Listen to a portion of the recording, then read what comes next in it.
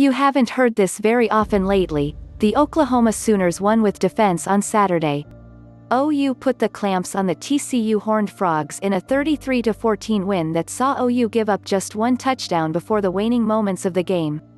The victory ran OU's record to 2-2 in Big 12 play and 3-2 overall. The OU defensive front dominated the TCU offensive line, accumulating nine tackles for loss. That total included three sacks of TCU quarterback Max Duggan.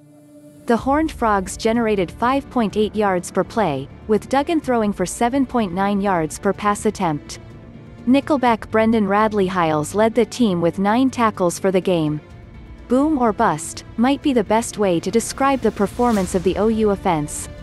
Redshirt freshman QB Spencer Rattler frequently tested the TCU secondary down the field, hitting enough deep shots to give the OU defense ample breathing room.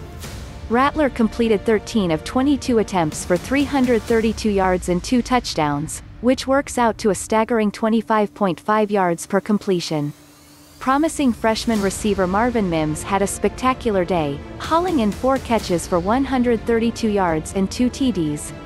The two scores covered 50 and 61 yards.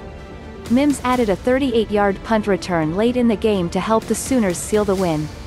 Additionally, sophomore wideout Theo Wease continued to emerge as a go-to target on money downs. He finished the game with three receptions for 87.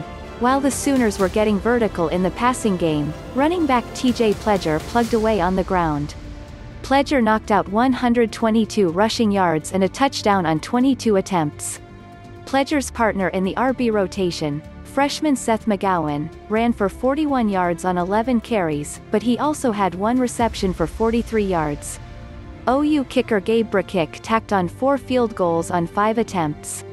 They successful kicks from 22, 30, 32 and 40 yards. Brkic's big day did offer a warning about the Sooners' tendency to bog down in the red zone. Three drives stalled out once OU got inside the TCU 20-yard line.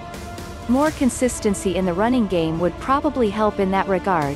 Even after adjusting for sacks, OU pounded out just 3.9 yards per attempt on the ground.